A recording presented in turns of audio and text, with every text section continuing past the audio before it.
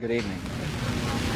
Today, our fellow citizens, our way of life, our very freedom came under attack in a series of deliberate and deadly terrorist acts.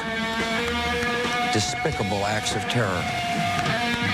The pictures of airplanes flying into buildings, fires burning, huge, huge Are you ready?